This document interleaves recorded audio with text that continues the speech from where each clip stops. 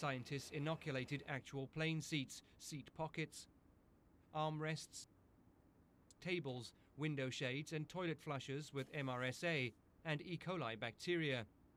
They then simulated the conditions of a pressurized cabin at 75 degrees Fahrenheit and 20% humidity.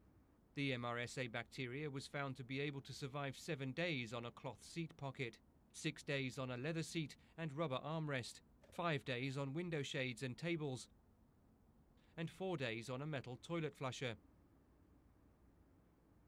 Meanwhile, E. coli survived four days on a rubber armrest, three days on a table, and two days on the metal flusher.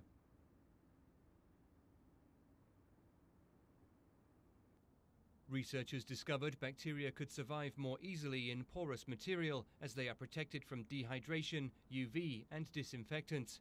However, such material also made the bacteria harder to transfer. Bacteria on non-porous surfaces such as tables, flushers and window shades were much more easily transferred.